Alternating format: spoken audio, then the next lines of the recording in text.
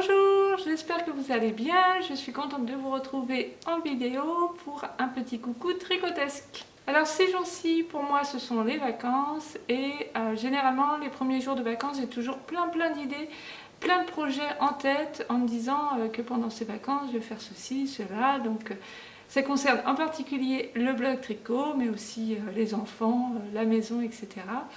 Euh, mais je sais en fait que c'est mon fonctionnement et qu'après, durant ces jours de vacances, finalement, je n'ai absolument pas euh, le temps de mettre en œuvre toutes ces idées.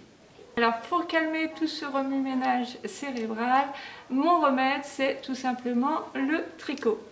Donc euh, ces jours-ci, je sais que je vais beaucoup tricoter pour calmer tout ça en fait, parce que finalement c'est plus de l'agitation que euh, des choses vraiment concrètes qui se mettent euh, en place. Actuellement, je tricote ce petit euh, boléro. Je vous avais parlé d'un cache-cœur, mais je m'étais trompée, c'était d'un boléro qu'il s'agissait.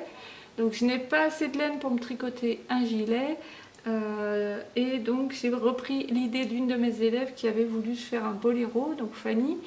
là j'ai fini le corps, donc il me reste à finir les manches et je voudrais faire des manches un petit peu bouffantes. Euh, après, je dois rajouter aussi les liens ici qui vont venir maintenir les deux devants. Alors sur la bande du col ici, j'ai fait du jersey double et également euh, en bas.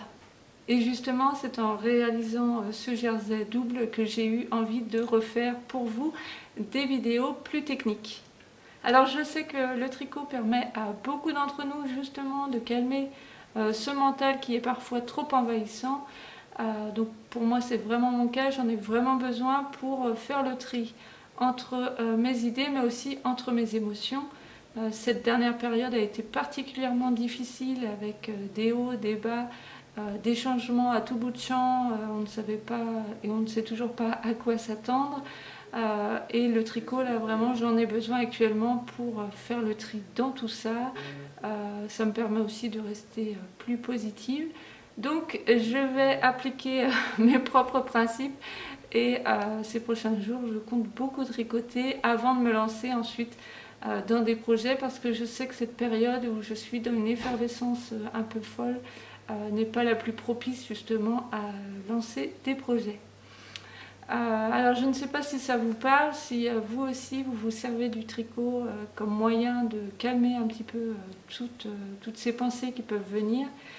Euh, en tous les cas, moi c'est mon cas, donc je compte finir euh, ce petit boléro et puis après, euh, comme je vous l'avais dit, j'ai commandé de la laine, j'ai fini par claquer pour finalement tricoter cette fameuse marinière.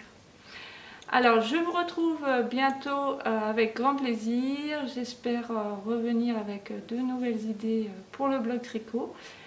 D'ici là, je vous embrasse bien fort et je vous souhaite bon courage pour cette période compliquée. Bis